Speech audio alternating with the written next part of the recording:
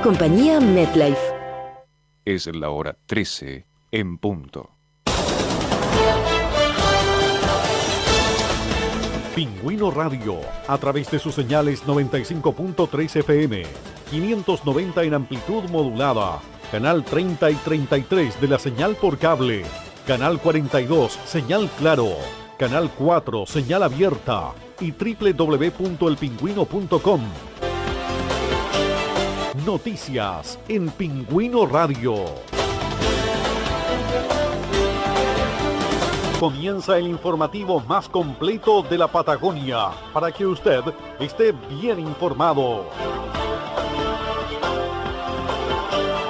Periodistas, móviles y reporteros trabajan incansablemente las 24 horas del día buscando la noticia, veraz y oportunamente.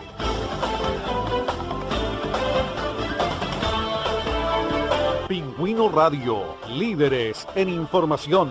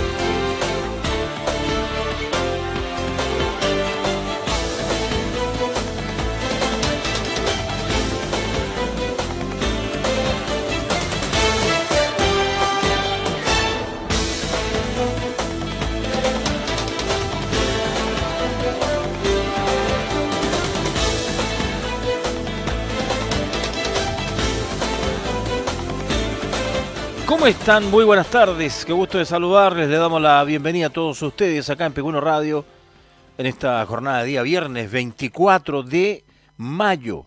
Susana hoy día. Felicidades, pues. Vamos a estar eh, informándoles de todo lo que ha acontecido durante la jornada de hoy. Hemos tenido varias informaciones, accidentes de tránsito, también temas judiciales ¿ya? Y otra noticia también que traemos para ustedes. En cuanto al tiempo, 6 grados la temperatura a esta hora con una humedad que llega al 76%. El viento es de 37 kilómetros a la hora de dirección oeste, buena visibilidad. Estamos en la máxima del día para que ya comience a bajar la temperatura, pero no, no tanto así como se espera. Se espera la máxima de 6, 5 en la tarde, 4 en la madrugada. ¿ya? Por lo menos esos son los conceptos de, temperaturas. Y en cuanto a visibilidad, esta hora buena, con pocas nubes en los cielos de la región de Magallanes. Comenzamos a las 13 con 3 minutos. Estos son los titulares. A esta hora se conoce la sentencia para Rodrigo Musante Arratia, condenado por, como autor de cinco delitos de robo en viviendas y donde la Fiscalía pide una pena de 15 años de presidio. Esta mañana personal de Carabineros y CONAF encontraron el cuerpo de una persona en el lago Dixon. No se descarta que este cuerpo encontrado sea de el investigador chileno-alemán que estaba extraviado en el Parque Nacional. Dos fuertes colisiones se registraron esta mañana en Punta Arenas, dejando saldo de seis lesionados. La primera, Bunles con Baslavich, donde la mujer resultó atrapada, y la otra, Prat con Salvador Allende. Diario radio, televisión y página web. Esto es parte de la multimedia más grande de la Patagonia chileno-argentina. A partir de este momento, usted quedará informado con Pingüino Multimedia.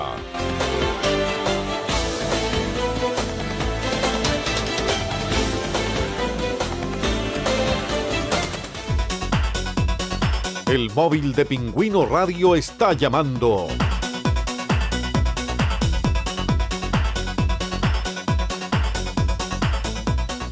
Bueno, un tema que ha estado latente en todos estos días es el corte del suministro de agua potable que comienza a las 15 horas y se va a extender hasta la madrugada.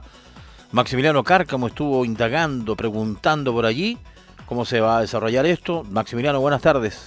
Muy buenas tardes, Jorge. Efectivamente, a partir de las 15 horas de este viernes y hasta mañana sábado a las 3 de la madrugada, se realizarán los trabajos de reposición de una sección de la línea alimentadora que comprende el cuadrante entre las calles Manuel Aguilar con Avenida Frey, Río de las Minas y Sargento Aldea, Capitán Guillermos, La Molinera, Mesabel, de Agostín y Joaquín Pérez, Carlos Ibáñez y el límite poniente de la ciudad. Este corte programado corresponde al proyecto de mejoramiento de redes renovación alimentadora del barrio industrial del sector norponiente de Punta Arenas, en la renovación programada de redes para este año 2019, que mejorará considerablemente el servicio porque es el cambio de tubería más importante que se va a eh, realizar en una arteria de la red de distribución de agua potable de la ciudad. Nosotros conversamos con el gerente de clientes de Aguas Magallanes, Eric Bascur, y esto es lo que nos comentó respecto a lo que va a ser este corte.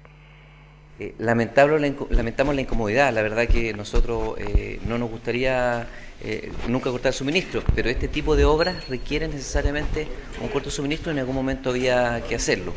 lamentamos la incomodidad, la verdad que nosotros no nos gustaría nunca cortar suministro, pero este tipo de obras requieren necesariamente un corto suministro y en algún momento había que hacerlo. lamentamos la incomodidad, la verdad que nosotros no nos gustaría eh, nunca cortar suministro, pero este tipo de obras requieren necesariamente un corto suministro y en algún momento había que hacerlo. Eh, lamentable Como ya señalábamos, comienza a las 3 de la tarde de hoy viernes y se extienden los trabajos hasta las 3 de la madrugada de este sábado.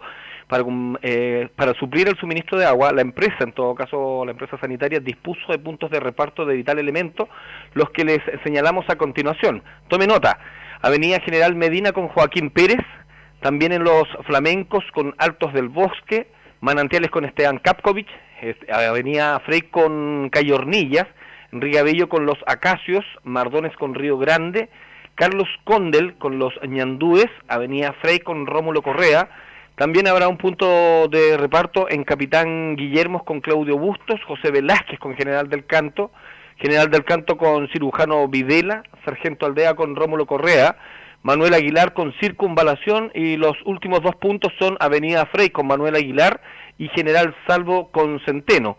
Esos son los 15 puntos de, reparto dispuestos para la entrega de agua mientras se mantiene la realización de las obras de reposición de una sección de la línea alimentadora. Además, la sanitaria señaló que eh, aquellos clientes que detecten turbiedad en el suministro durante el proceso que se llevará a cabo deben llamar al siguiente número, el 612-280028. Nosotros repetimos, repetimos esto por un tema de, de turbiedad que pueda notarse en, eh, en, el agua, un tema de turbiedad como decíamos, al número 612-280028, para así de esta forma disponer de un equipo técnico de aguas Magallanes para que se traslade hasta el lugar.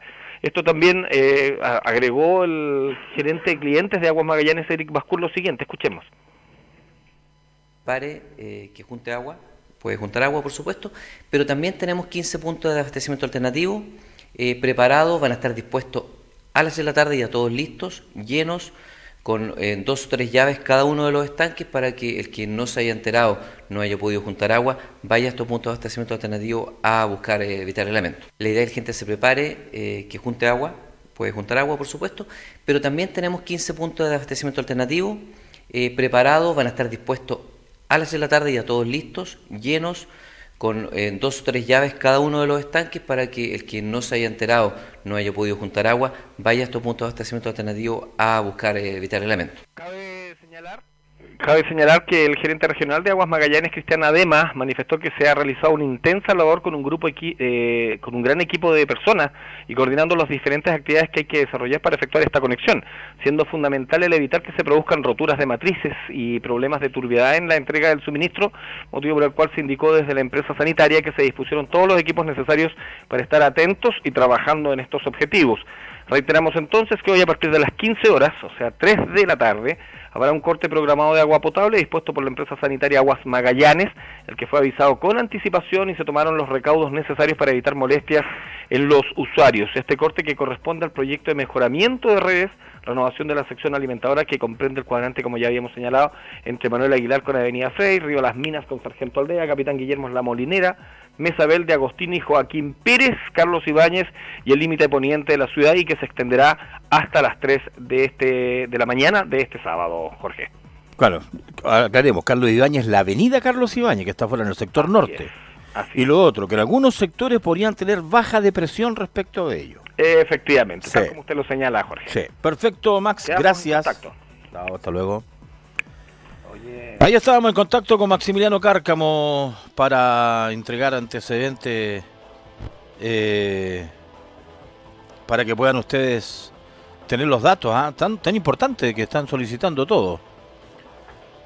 Vamos a ir inmediato a tribunales porque se va a conocer la sentencia para uno de los eh, involucrados en uno de, de un hecho de sangre también, pero esto es por otra cosa lo que se va a entregar la sentencia. Alex Miralles, ¿cómo está? Buenas tardes. Hola Jorge, buenas tardes. Hola Jorge, buenas tardes. Así es porque hace pocos minutos acá en el Tribunal Oral en lo Penal de Punta Arenas se entregó la sentencia en contra de un eh, imputado por eh, varios delitos de robos. En esas circunstancias a Rodrigo Musante Arratia se le condenó a una pena de 13 años de cárcel por eh, cuatro delitos de receptación y tres de robo por hechos que ocurrieron el año pasado en la ciudad de Punta Arenas donde se vio involucrado, según la acusación de la Fiscalía, por estos hechos que eh, afectaron a varias viviendas aquí en la ciudad de Punta Arenas. Eh, vamos a conversar con el abogado defensor precisamente de este imputado, eh, quien buscará obviamente una situación diferente ya que ellos apuestan a que este imputado no habría cometido los delitos, pero sí mantenía estas especies por lo que serían delitos de, de receptación. Abogado Guillermo Ibacachi, bueno, nos puede comentar en relación a las peticiones que van a hacer usted luego de conocer esta sentencia de 13 años de cárcel. Sí, nosotros prácticamente estamos obligados a hacerlo, sin perjuicio de que era la teoría del caso de la defensa, que aquí habían siete delitos de receptación y ninguno de robo. Sin embargo, el tribunal decidió por simple mayoría eh, condenarlo por tres delitos de robo en lugar habitado y eh, hay un voto de minoría que considera la opción de absolverlo por los tres delitos de robo en lugar habitado y condenarlo evidentemente por eh, el total de los siete delitos, pero todos de receptación. El tema acá es muy sencillo. Si el sistema chileno se copia de los sistemas de jurados norteamericanos, entre otras eh, situaciones que previeron para aplicarlo en Chile, eh, las condenas de, este, de estas clases de delitos requieren que el jurado sea tome una decisión unánime. Eh, aquí en Chile no existe el sistema de jurados, pero sí se estableció la obligación de que estos juicios se resuelvan por tres jueces. ¿Y cuál es la obligación de, o, o cuál fue la finalidad de establecer que estos juicios se realicen ante tres jueces? De que estos tres jueces sean unánimes para poder entonces adoptar la misma decisión de condena. Por lo tanto, si hay un juez que no está convencido, quiere decir que hay una duda razonable y por lo tanto esa duda razonable debiera alcanzar a todo el tribunal. Y de acuerdo a ese criterio, entonces, vamos a interponer los recursos correspondientes. Hay que recordar también que su representado en esta ocasión, bueno, hace pocos días atrás también sufrió graves lesiones al ser eh, recibir eh, heridas cortopunzantes dentro de la cárcel. Él cómo se encuentra, nos puede señalar. Obviamente usted tiene que ir también a comunicarle esta sentencia que recibió.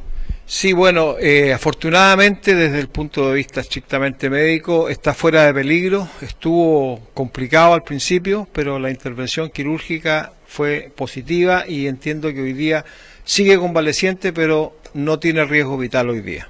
Entonces ahora los pasos a seguir eh, dentro de los, del plazo correspondiente eh, para ir a la Corte de Apelaciones, ¿cierto? Mire, eh, nosotros conociendo el criterio de la Corte local es muy probable que vamos a recurrir pero a Santiago, a la Corte Suprema, porque no tenemos, o sea, conocemos el criterio de la Corte local de tal manera que interponer un recurso ante esta Corte por esta vía entendemos de que no tiene ninguna, ninguna posibilidad de tener éxito.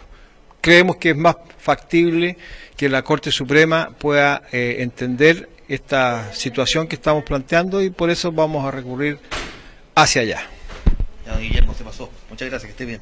Ahí estaba el abogado defensor entonces de Rodrigo Musante Arratia, quien se le sentenció a 13 años de cárcel por eh, tres delitos de robos y cuatro delitos de receptación. Hay que recordar que este imputado em, fue trasladado hace pocos días atrás, el fin de semana pasado, luego de haber eh, sido atacado en el complejo penitenciario de Punta Arenas con un elemento cortante, que lo mantuvo en riesgo vital en primera instancia, pero ya se mantiene estable. También eh, estamos a la espera de que se dé la sentencia en contra de estos eh, tres eh, que acusados de la muerte del joven natalino Monsaño Muñoz del Campo. Em, hay que recordar que la sentencia estaba fijada para hoy a las 13.30 horas, pero se retrasó por lo que a las 17.30 horas ya conoceremos la sentencia en contra de estos tres acusados de los ex eh, carabineros Miguel Delgado Velázquez, Pedro Loncuante Loncuante y el, su amigo también, eh, la persona que era civil que estaba involucrado en estos hechos, Sebastián Cáceres Alonso, por esta agresión y la muerte de Gonzalo Muñoz del Campo, este joven natalino quien falleció luego de la agresión que sufrió en el 8 de julio del año 2017 y que estuvo entonces varios eh, meses eh, um, en riesgo vital hasta que falleció en el mes de mayo del 16 eh, del año pasado. Entonces a las 17.30 horas estaremos a la espera entonces de esta sentencia que se dará a conocer aquí en el Tribunal Oral en lo Penal de Punta Arenas. Jorge. Perfecto, Alex Miralles, se le agradece el contacto, que te vaya muy bien. ¿ah? Ahí estábamos en contacto con Alex Miralles de Tribunales. A esta hora de la tarde, a las cinco y media se sabe entonces el resultado o el veredicto de los jurados, eh, los años de cárcel que podrían tener estos exfuncionarios de carabineros y este civil por la muerte de Gonzalo Muñoz del Campo allá en Puerto Natales. Ya son las 13 horas con 16 minutos. Seguimos con ustedes acá en Pingüino Radio en esta jornada de día viernes. Varias informaciones han ocurrido, hemos tenido durante esta jornada acá en nuestra región de Magallanes. Perdón y bueno, diferentes organismos se han trasladado hasta el sector del lago Grey para poder eh, realizar la búsqueda de, este ciudadano chileno alemán que está siendo, estaba siendo buscado. Ya vamos a estar informando de eso también porque hay una noticia que está en desarrollo a esta hora de la tarde, 13 con 17. Cambiamos el tema.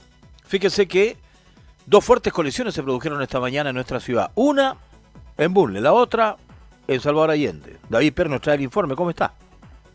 ¿Cómo estás, Jorge? Muy buenas tardes. Sí, dos colisiones de alta energía que dejaron un total de seis personas lesionadas, entre ellas afectados por lesiones de carácter grave. El primer accidente de tránsito tuvo lugar sobre la intersección de Avenida Bulnes con calle Kuzmaslavi, sector norte de la ciudad de Punta Arenas. Registramos las imágenes durante la mañana en vivo de esta eh, fuerte accidente de tránsito donde según datos preliminares la conductora del vehículo sedán, eh, vehículo particular, intentó cruzar en dirección eh, poniente a la avenida siendo impactada en su lateral derecho por una camioneta que ya vemos en imágenes daños cuantiosos en ambos vehículos donde finalmente se vieron involucradas tres personas las cuales fueron atendidas por personal de la, del sistema de atención médico de urgencia y la tercera compañía de rescate vehicular, la bomba alemana,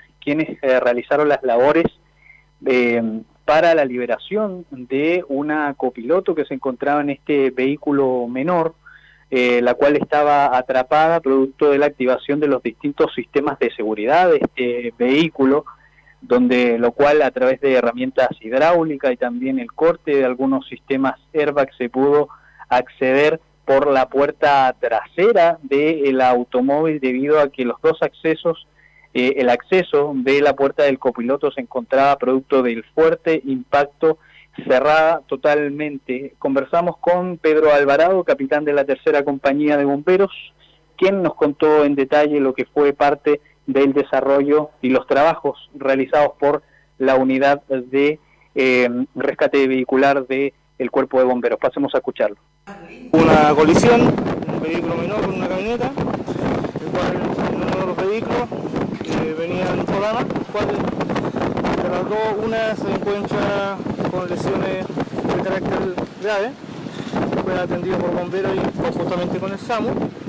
La otra dama eh, sin lesiones el conductor de la camioneta no tuvo mayor problemas. Él tenía lesiones en uno de sus hombros, el cual eh, el SAMU evaluó y tuvimos que sacarlo, extraerla de, con mucho cuidado.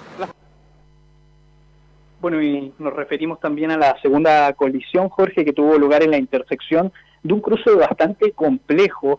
Hace tiempo atrás, un par de meses, eh, veíamos esta fuerte colisión que dejaba a un motociclista en estado grave, una intersección de la cual hablamos de calle Prat con Avenida Independencia, con escasa visibilidad, donde un vehículo sedán, el cual iba siendo remolcado por una camioneta doble tracción, tras intentar cruzar en dirección norte con una para, con esta aparatosa eh, maniobra siendo empujado por una una mediante una cuerda. Finalmente el móvil eh, menor quedó en medio de la avenida siendo impactado por un colectivo de la línea 800 en su lateral izquierdo. Pasajeros y tanto ocupantes del vehículo también eh, se dan eh, como del, del transporte público eh, habrían resultado con algunas contusiones y eh, una mujer que quedó atrapada sería la propia conductora del vehículo que iba siendo remolcado, que tuvo que ser asistida por la unidad de rescate de la primera compañía, quien a eso en un operativo muy rápido logró sacar y liberar a esta conductora que, producto del fuerte impacto en su acceso, en su puerta lateral eh, izquierdo, quedó en el otro asiento ubicada del copiloto.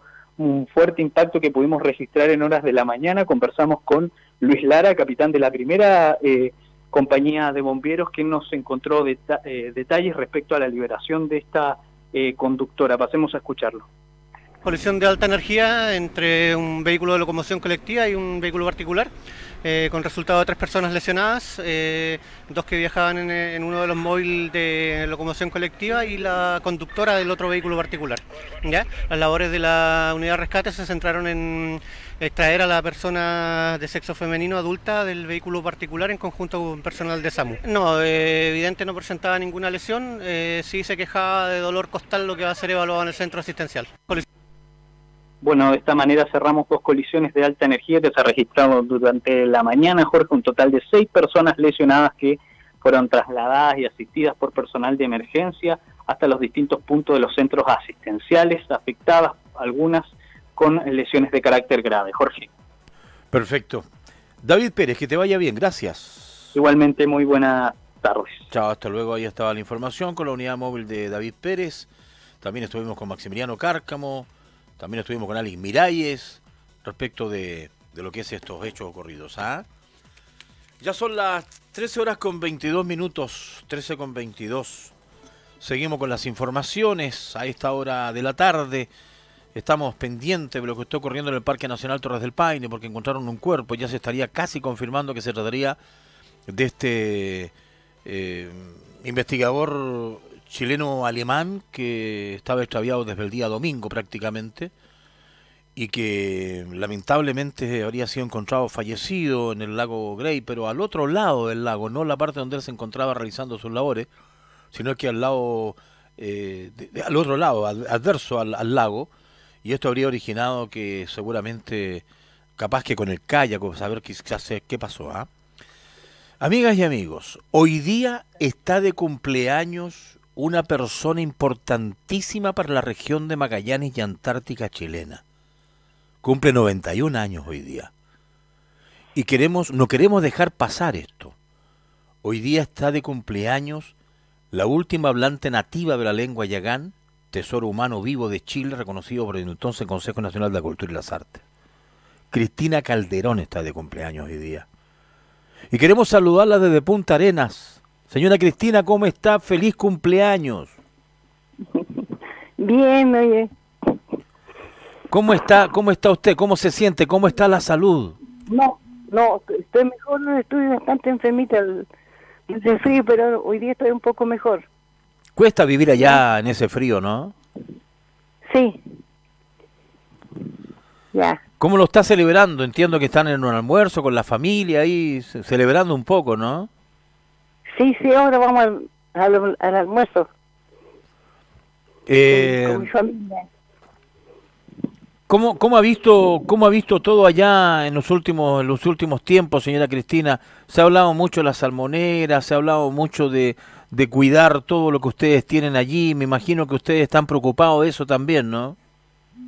Sí, pues, bien preocupados, sí. Porque no les gusta eso, pues. Porque mis hijos trabajaban siempre en el, en el mar y ahora se, se, se pone eso y los, los centauros van a morir.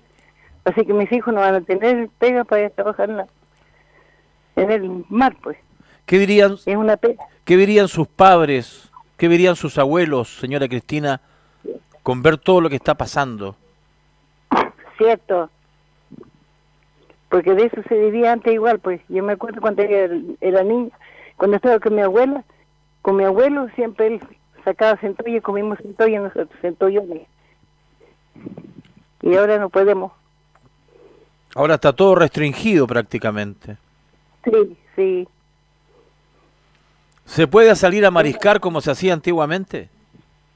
No, no, pues, no se puede. Porque están malos también los, los mariscos, están con, ¿cómo que se llama eso? ¿Marea roja? Ah, marea roja, sí. Hace tiempo ya que no, no mariscamos. ¿Hay menos pesca que antes? Sí, sí, a lo menos yo no puedo andar ya. Mis hijos, ellos pescan. ¿Qué le gustaría recorrer si es que tuviera la energía y, y la vitalidad para poder hacerlo? ¿Dónde le gustaría ir? No, yo no, no me gusta salir ya, porque me encuentro un poquito malo, así que no, creo que no algo para, para andar. ¿Pero echa de menos algo? No, no, no echo de menos nada. ¿Se siente bien en su tierra? Sí, bien, bien. Bueno, nosotros era solamente eso lo que queríamos saludarla, señora Cristina, enviarle nuestro abrazo desde acá de Punta Arena, nuestro orgullo también de que usted esté con nosotros y feliz cumpleaños y a celebrarlo con lo mejor que se pueda. po. Ya, ya, muchas gracias. Un tremendo abrazo para usted allá en Puerto William, que tenga un lindo cumpleaños, señora Cristina Calderón. ya, gracias, gracias. Que le vaya muy bien. Gracias por recibir el llamado. Ahí estábamos en contacto, señoras y señores, amigas y amigos auditores, con Cristina Calderón. La última hablante Yagán. El- recordemos que mm, Cristina Calderón fue galardonada, podríamos decirlo así, con, eh, con este título, ¿no? La última hablante nativa y reconocida entonces por el Consejo Nacional de la Cultura y las Artes 2009 como la hija ilustre de la comuna de Cabo de Hornos y también entregar el título de Tesoro Humano Vivo de Chile. Qué mejor. Hacemos un alto. Ya regresamos acá, en Pingüino Radio. Pingüino Radio, la radio informativa de Magallanes. Trabajando en la faena minera es difícil moverse a la ciudad a estudiar. Por eso estudio prevención de riesgos online en IAC. No me tengo que trasladar a una sala de clases. Ahorro costos y tiempo. En Instituto Profesional IAC eliminamos las barreras geográficas para que miles de chilenos puedan estudiar 100% online. Conéctate con una nueva forma de aprender. Más de 14.000 alumnos en todo Chile ya lo hacen. IAC, líderes en educación online. www.iacc.cl. Infórmate sobre nuestras becas en arancel y matrícula. Fran, hija, Camila te busca. Amiga, ¿qué te pasó? ¿Te duele mucho la pierna? Al principio, ahora no me duele nada. Y el bolsillo a mí tampoco me dolió. Para esos imprevistos de salud está tu crédito social Caja Los Andes, que además nos permite seguir con nuestro propósito, mejorar la calidad de vida de más chilenos. Pídelo en cajalosandes.cl, porque es más seguro, directo a tu cuenta y se descuenta por planilla. Caja Los Andes, más caja para ti. La caja de compensación son fiscalizada por la Superintendencia de Seguridad Social. www.suceso.cl. Crédito sujeto a verificación de antecedentes y evaluación de riesgos. Ven a Corcoran Express, tu supermercado mayorista, donde puedes comprar desde una unidad a todas las que quieras, solo que a un precio más barato. Sorpréndete con nuestros precios y disfruta de un ambiente agradable para hacer tus compras. Visítanos en Tres Puentes, Avenida Presidente Carlos Ibáñez del Campo, 05765. Corcoran Express, tu supermercado mayorista, siempre más por menos en todas tus compras.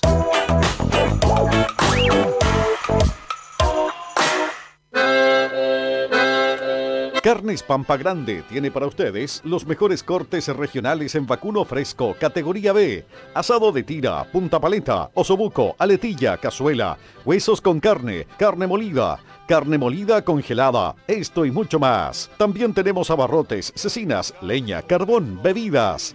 Vendemos carne de vacuno criado 100% a pasto. Avenida España 0480, esquina Piloto Pardo, fono 61 232 4258. Contamos con estacionamiento propio. Recuerde, Carnes Pampa Grande, en el sector norte de la ciudad.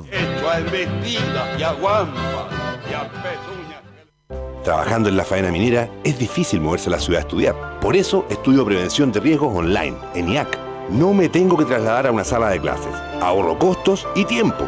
En Instituto Profesional IAC eliminamos las barreras geográficas para que miles de chilenos puedan estudiar 100% online. Conéctate con una nueva forma de aprender. Más de 14.000 alumnos en todo Chile ya lo hacen. IAC, líderes en educación online. www.iacc.cl. Infórmate sobre nuestras becas en arancel y matrícula. Estas son respuestas reales de alumnos Santo Tomás que ingresaron con matrícula costo cero. Cuando me matriculé en Santo Tomás, eh, mi matrícula fue costo cero por ser de primer año. Es muy sencillo. La verdad es que no es, no es algo a lo que uno tenga que postular, sino que es algo que existe. No pagar la matrícula significa apoyo, significa contención, significa un alivio. Entra a tupuedes.cl y habla con alumnos reales de Santo Tomás. Habla conmigo. Habla conmigo. Habla conmigo. Consulta por las carreras con matrícula costo cero. Solo alumnos nuevos. Admisión 2019. Desde el 22 al 27 de diciembre. Santo Tomás, tú puedes.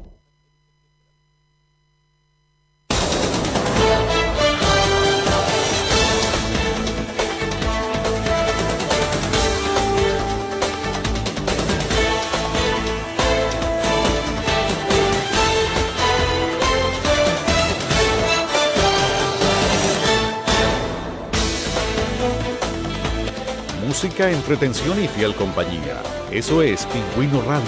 En la ruta, en las estancias, en zona de pesca. Estamos siempre contigo. 24-7. Las 24 horas.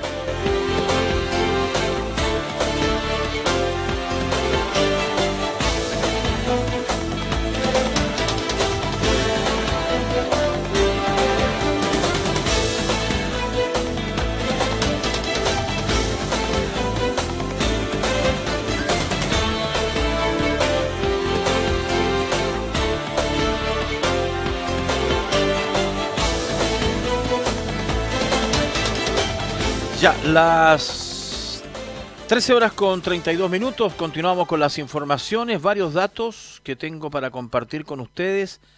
Capcovich con manantiales nos dicen que están los camiones ya eh, entregando agua, ¿ya?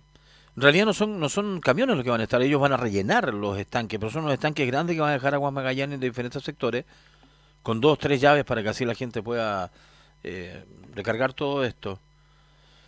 A ver, y lo otro, mañana se va a hacer un operativo veterinario a valor económico para perros y gatos el mall chino que está ubicado ahí en Frey. Eh, perdón, domingo, yo dije mañana, no, domingo. De 14 a 16 horas, implantación de chip, vacunas varias, desparasitación, consultas médicas. Eh, esto para que la gente pueda también eh, recibir eh, mascotas. ¿Ya? Una, una campaña ahí sábado y domingo, digo bien, sábado y domingo en el mall, ahí en Hornilla, donde va a haber campaña de adopción de perritos también, ¿ah? ¿Ya? Dato que nos entrega la audiencia hasta ahora de, de Pingüino Radio. Bueno, la noticia la confirmábamos cerca de las 12 horas de hoy, ya que diversos organismos se trasladaron hasta el sector del Grey y al interior del Parque Nacional Torres del Paine con la finalidad de poder encontrar al investigador chileno-alemán que se reportó como extraviado por un grupo de sus colegas de la Universidad Magallanes a la portería del Parque Nacional.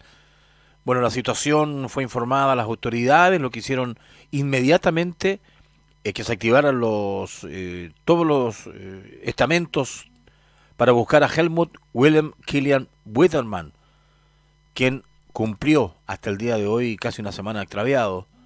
En la mañana de hoy se confirmaba por intermedio de la gobernadora de la provincia de Última Esperanza, Ana Mayorga, que había sido encontrado un cuerpo en el sector del lago Grey, pero al lugar del frente, no donde estaba el camino que iba a recorrer este, este investigador. Así lo dijo la gobernadora Ana Mayorga. Sí, efectivamente, eh, CONAF nos ha, nos ha enviado el reporte a las 11.40. Eh, se divisó un cuerpo en el sector del lago Grey eh, que estaba flotando en las aguas eh, y bueno, se dispuso inmediatamente la llegada de carabineros que estaban en el mismo sector para tomar el procedimiento y avisar a Fiscalía y proceder a lo que corresponde en base a lo que Fiscalía en este momento debe instruir.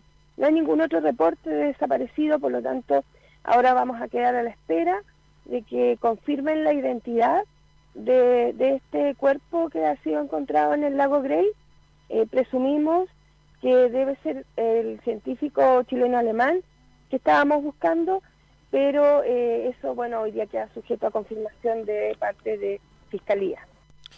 Con respecto a ese mismo tema, el fiscal Cristian Muñoz habló respecto del encuentro de este, o el hallazgo de este cuerpo, y también de cuáles son los temas a seguir ahora para poder llevarlo hasta Puerto Natal y realizar los exámenes correspondientes.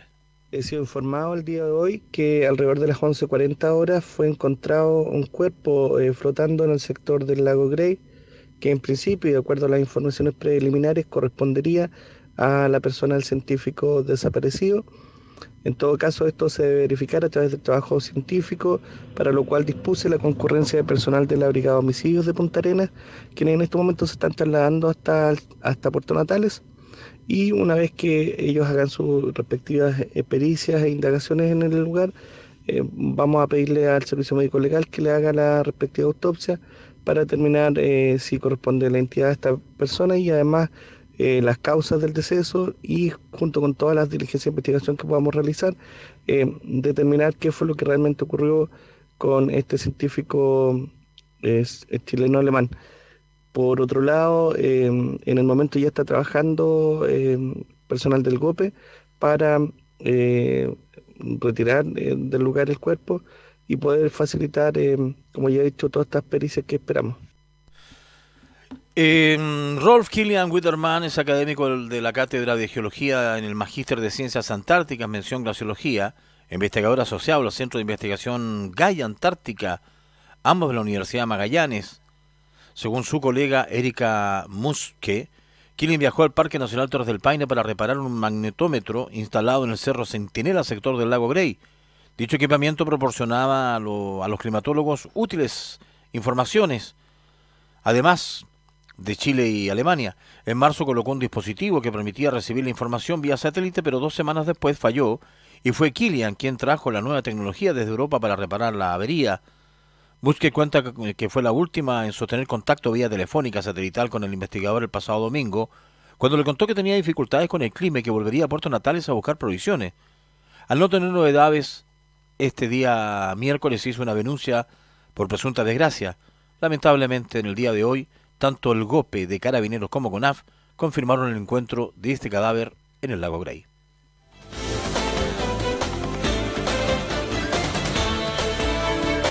Música, entretención y fiel compañía. Eso es Pingüino Radio, en la ruta, en las estancias, en zona de pesca. Estamos siempre contigo, 24/7, las 24 horas.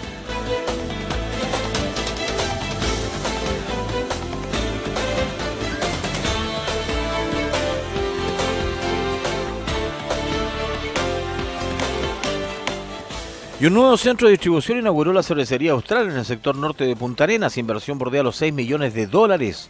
Maximiliano Cárcamo nos va a traer, nos trae el informe respecto de este nuevo recinto que ya está a disposición de toda la comunidad.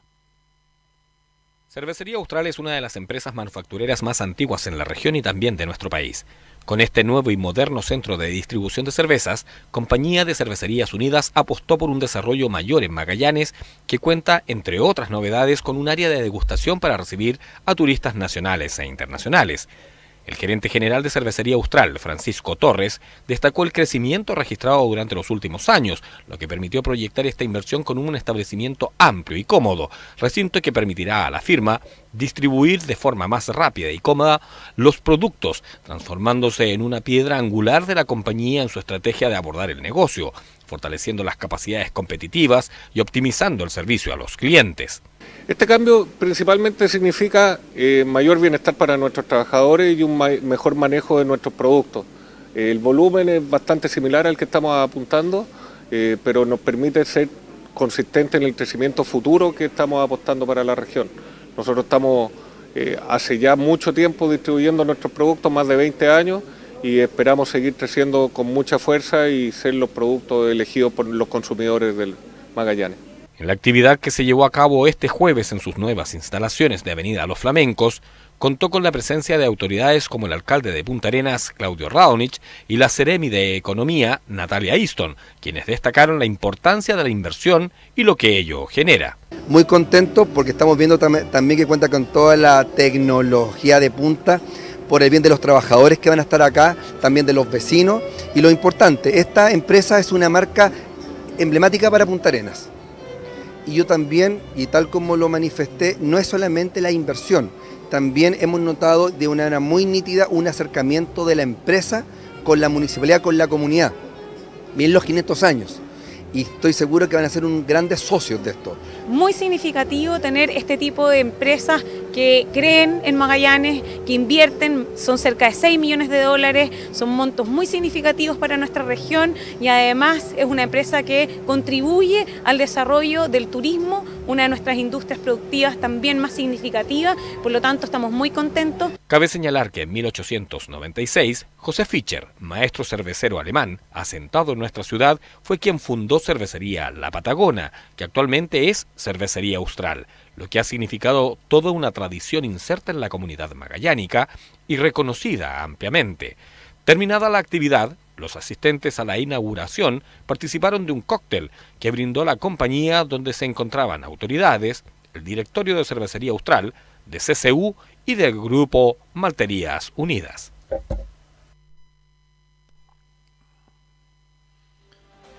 Ahí está, pues, el nuevo recinto de... Eh, ahí en el sector norte de la ciudad, donde está la alternativa ahora de poder abastecerse de este producto regional, recordemos que es la cerveza austral regional, y obviamente que es una calidad de producto reconocido internacionalmente. ¿ah? Nos entregan antecedentes de un accidente de tránsito a esta hora de la tarde en Briseño con Chiloé. Jorge, choque en Chiloé con Briseño, impacto de alta energía. Perfecto, eso es lo que nos llega a esta hora de la tarde de parte de nuestros auditores. Chiloé Briseño estaría dándose a conocer entonces este accidente de tránsito que se produjo hace unos minutos atrás nada más y que nosotros estamos ahí reporteando ya porque nuestra unidad móvil ya va al lugar. No sé si alcanzaremos a sacar la información, pero por lo menos ya están los antecedentes de este hecho que se produjo. Vamos a hacer un resumen de lo que hemos informado desde las 13 horas acá en Piguno Radio. Estos son los titulares. Se inició un juicio para un joven reincidente que enfrenta a la justicia por robos a cinco casas en el sector norte de la ciudad de Punta Arenas. Además, dos fuertes colisiones se registraron esta mañana, una en Comeslavich, la otra en el sector de Salvador Allende. En los dos quedaron seis personas lesionadas. Sin vida fue encontrado el, el investigador alemán chileno en el Parque Nacional Torres del Paine. Se espera el antecedente respecto del traslado del cuerpo hacia la ciudad de Puerto Natales. Y esta tarde a contar de las 15 horas hasta las 3 se va a cortar el suministro de agua potable. 15 lugares van a haber especialmente para que usted pueda tener el suministro tan importante para su domicilio. Eso es Gracias por la sintonía. Eh, agradeciendo por supuesto que siempre estén acompañándose de nosotros. Y también el datito ahí para todos ustedes respecto de lo que va a ser después. A las 4 tenemos todo noticia. A las 21.15 las noticias con Patrick Limardo y nosotros regresamos mañana sábado a las 8 de la mañana. ¿Ya? Que estén muy bien. Gracias por todo. ¿ah? Buenas tardes.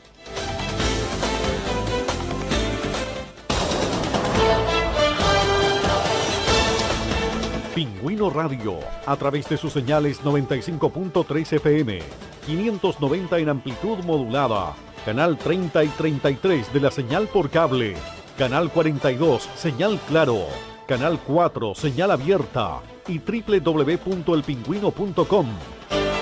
Noticias en Pingüino Radio.